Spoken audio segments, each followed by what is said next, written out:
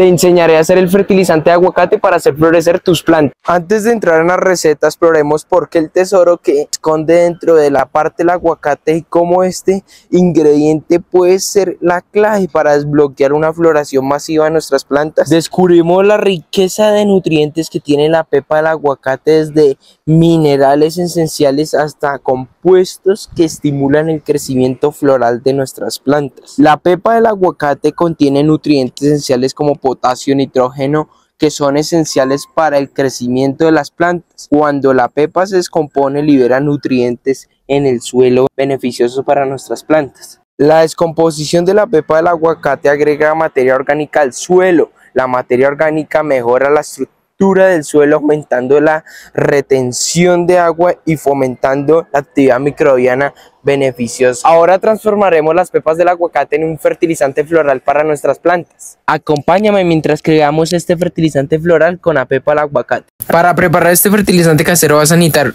una pepa de aguacate o dos y un rallador y vas a rallar muy bien y lo vas a agregar en un litro de agua en una taza y lo vas a colocar a hervir durante 5 minutos aproximadamente o 3 y de una se comienza a disolver las pepas del aguacate en el agua.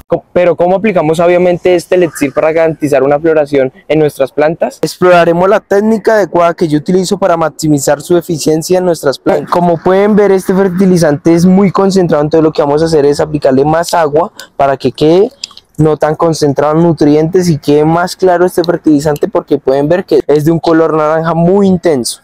Este fertilizante primero que todo se lo voy a aplicar a mi sansaveira que está en pleno crecimiento y quiero que crezca y florezca mucho más. También se lo voy a aplicar a mis esquejes para que esto también ayude a enraizar de una manera mucho más rápida y también a mis suculentas, por supuesto, porque quiero que sigan floreciendo de una manera continua. Ahora te mostraré los resultados sorprendentes que he tenido con este fertilizante en mi jardín. Desde una exposición de colores con sus rosales hasta una variedad de flores, un arbusto esta historia del éxito que te cuento que ha tenido con este fertilizante casero se ha tenido con mucha dedicación y mucha paciencia gracias a la pepa del aguacate en mis plantas. Pero se están preguntando, ¿este elixir que es un fertilizante sirve para todas nuestras plantas? Pues déjame decirte que este fertilizante sirve para todo tipo de plantas que tengan flores en nuestro jardín y no tengan para aumentar la floración.